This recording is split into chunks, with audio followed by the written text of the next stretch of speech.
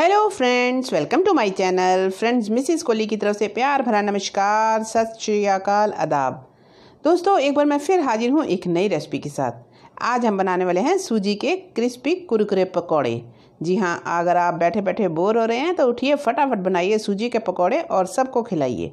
इसे बनाना भी बहुत आसान है। तो चलिए देखते हैं इसे किस तरह से हम अपने घर पर आसानी से बना सकते हैं। तो फ्रेंड्स सबसे पहले हमें चाहिए एक बॉल बॉल में डालेंगे हम एक कप के करीब सूजी। सूजी बारीक हो या मोटी हो, जो भी हो, चलेगी। अब हम इसमें डालेंगे दो चम्मच के करीब दही। साथ में ही डाल देंगे थोड़ा सा पानी।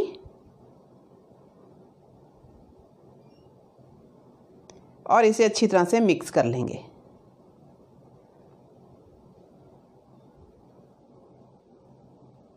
बेसन के पकौड़े आपने बहुत खाए होंगे, लेकिन आज आप सूजी के पकौड़े बनाकर खाइए। तो मज़ा ही आने वाला है।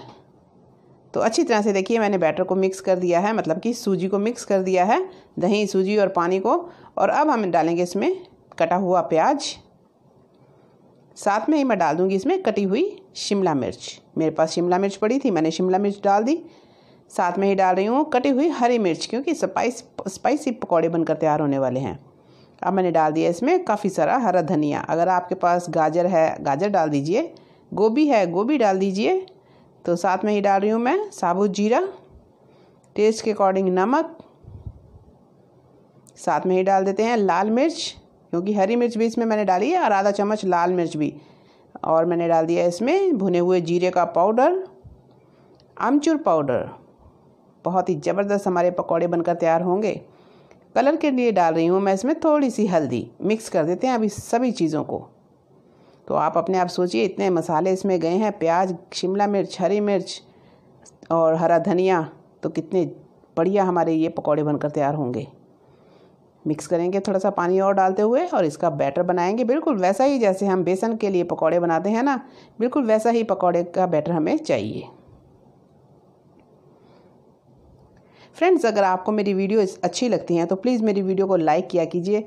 मुझे कमेंट बॉक्स में कमेंट ज़रूर लिखकर बताइएगा कि आप अगर ये पकौड़े वगैरह बनाते हैं तो आपके पकौड़े किस तरह के बनते हैं। तो ये देखिए बैटर हमारा बिल्कुल तैयार हो चुका है। अब हम क्या करेंगे? इसमें डालेंगे बाइंडिंग के लिए दो चम्मच के करीब चावल का आटा। मैं चावल का आटा का इस्तेमाल कर रही हूँ। आप इसमें कॉर्नफ्लोर भी ऐड कर सकते हैं, मैदा भी ऐड कर सकते हैं।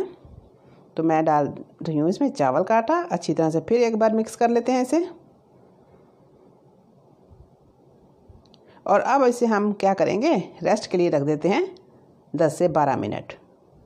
तो 10 से 12 मिनट हो चुके हैं और बैटर हमारा बिल्कुल सेट हो चुका है पकौड़े बनाने के लिए।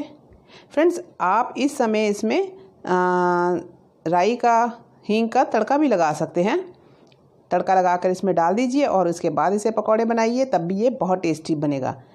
पर मैं इसमें नहीं तड़का लगा रही, अब मैंने डाल दिया इसमें वन फोर्थ टी स्पून के करीब बेकिंग सोडा, क्योंकि हमारा जो पकौड़े हैं काफ़ी फ्लफ़ी बनकर तैयार होंगे, बिल्कुल अंदर से सॉफ्ट और बाहर से क्रिस्पी कुरकुरे। तो बहुत अच्छी तरह से मैंने मिक्स कर दिया है सोडा डालकर भी इसमें। और ऑयल मैंने गरम करने के लिए रख दिया है। तो वो भी गर्म हो चुका है और बैटर भी हमारा बिल्कुल तैयार है पकौड़े बनाने के लिए। तो चलिए फिर स्टार्ट करते हैं इसे बनाना। तो पहले तो मैं इसे स्पून की हेल्प से ही पकौड़े बनाऊँगी। बाद में हम देख लेते हैं कि हमें क्या इजी रहता है स्पून या हाथ से बनाना।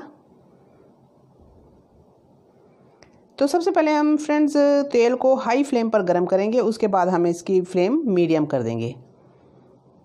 तो मीडियम फ्लेम पर ये देखिए, अच्छी तरह से ये पकौड़े फ्राई हो चुके हैं और बिल्कुल गोल्डन कलर इसके ऊपर आ चुका है। बहुत ही बढ़िया खुशबू भी आ रही है। तो ये वाले पकौड़े तो मैं निकाल लूँगी। और अब हम डालेंगे हाथ से। तो हाथ से जो पकौड़े हम डाल रहे हैं, वो ज़्यादा इजी रह रहे हैं। तो ये देखिए, कितने बढ़िया फूल कर तैयार हो रहे हैं पकौड़े।